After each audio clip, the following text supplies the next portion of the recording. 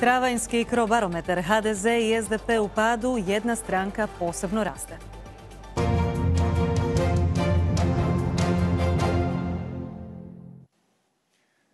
Europski izbori zaokupili su, vidjeli smo i vlasti i oporbu. Tako će biti još mjesec dana. Dnevnik Nove TV donosi redovito istraživanje rejtinga političkih stranaka koje i ovaj mjesec analiziramo s našim Mislavom Bagom.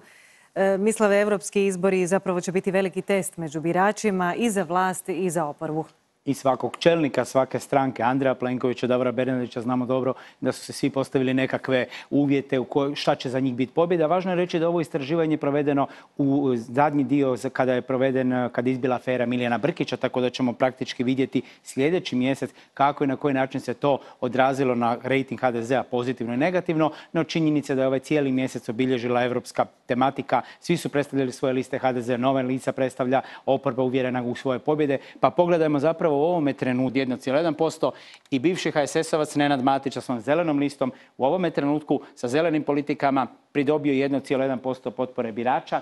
Ono što je svakako zanimljivo, ostale stranke, lijeve, desne, populističke, anarhističke, imaju manje od 1% potpore. Sve skupa zajedno to je 7,4% potpore i neodlučnih birača je 8,5%.